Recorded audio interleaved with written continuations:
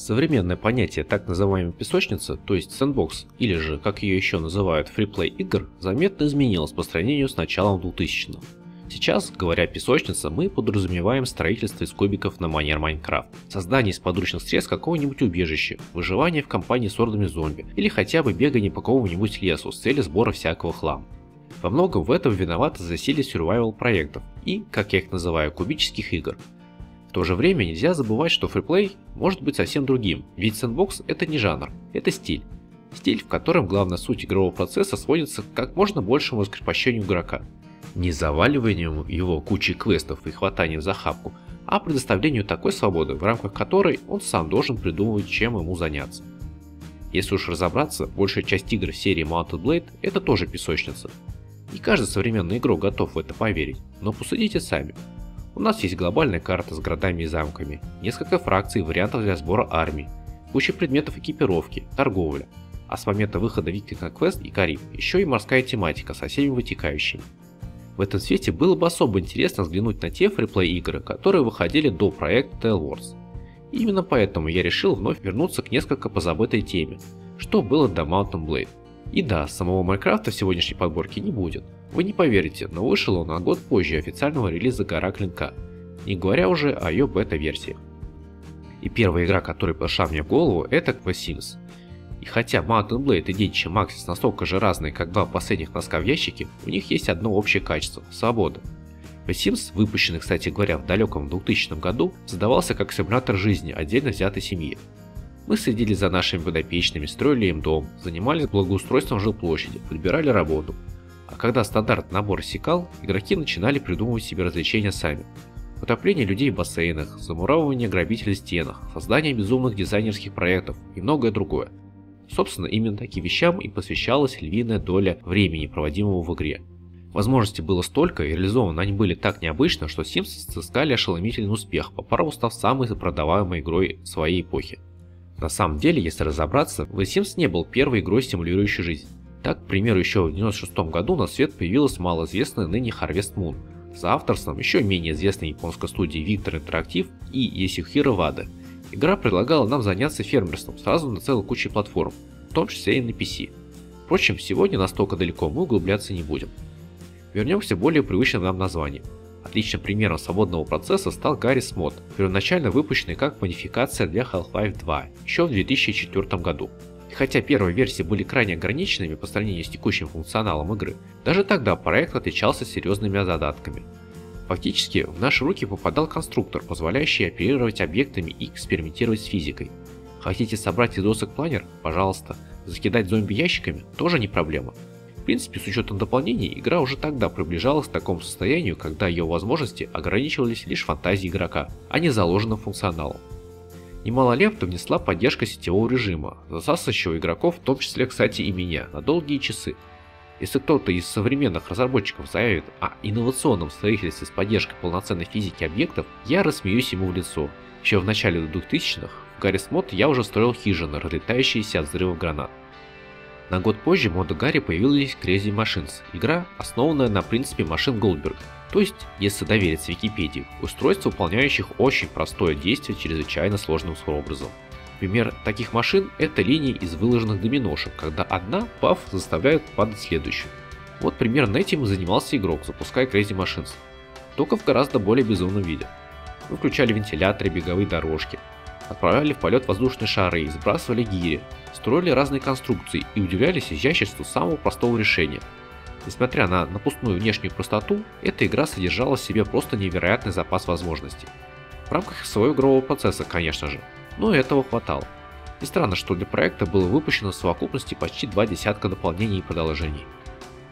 А теперь поговорим о кубиках. Да, я обещал, что в этом видео Майнкрафт не будет, но речь совсем не о нем, ведь еще в ноябре 2004 года появился прототип Blockland, игры про кубики. Кубики из набора детского конструктора. Задача игры проста как два пальца. Построить что-нибудь из доступного набора деталей.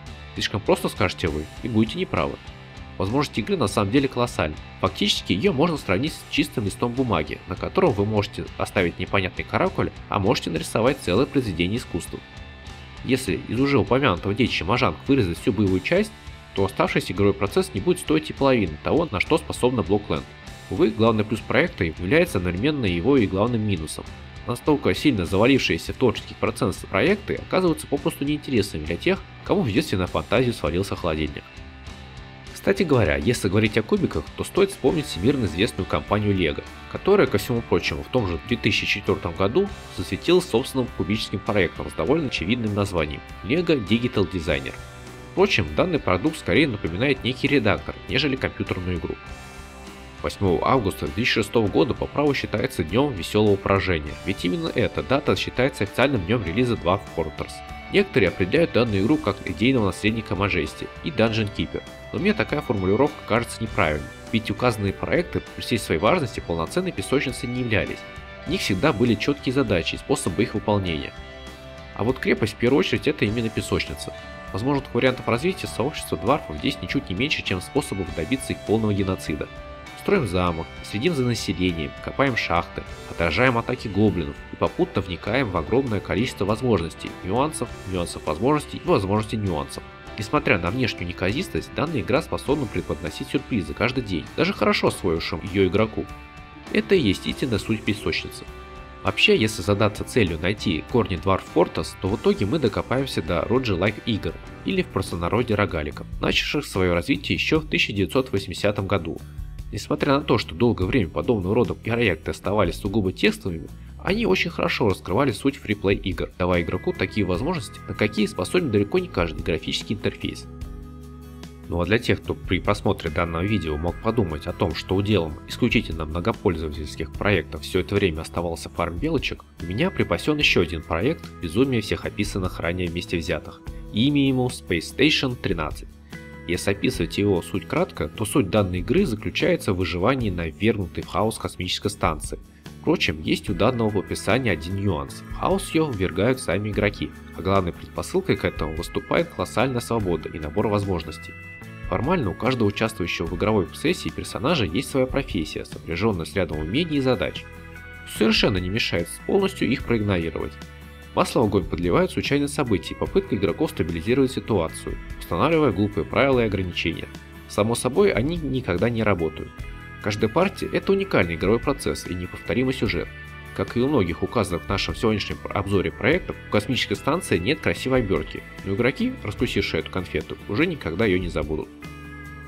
Симулятор жизни, мод для шутера, безумное изобретение, конструктор, симулятор геноцида гномов и даже безумие в космосе. Очень необычный список у нас получается на самом деле. Но я сразу вас предупредил, песочница это в первую очередь идея, а не жанр. Совершенно не странно, что фриплей игры в итоге оказались такими разными. Эта деталь лишь повышает важность игрового процесса в Mountain Blade, который, ко всему прочему, был уникален сам по себе, как и многие представленные сегодня проекты. И это, кстати, выгодно отличает его от целой кучи современных песочниц, каждая из которых пытается рассказать о своей уникальности, но при этом в основе своей идеи идентична предыдущей. Ну а напоследок скажу, что за бортом моего сегодняшнего видео, вероятно, нет, даже так, точно, остались и другие неординарные проекты, которые несомненно заслуживают места в числе указанных сегодня игр. Но моей задачей было не показать все, я всего лишь хотел за счет сравнения объяснить, что сэндбокс это в первую очередь свобода. И почему мне так обидно, что понятие этой самой свободы не распространяется на современных игроделах, ставшими рабами созданных ими же самими стереотипов. Ну а с вами был Ванок, подписывайтесь на канал и всем удачи.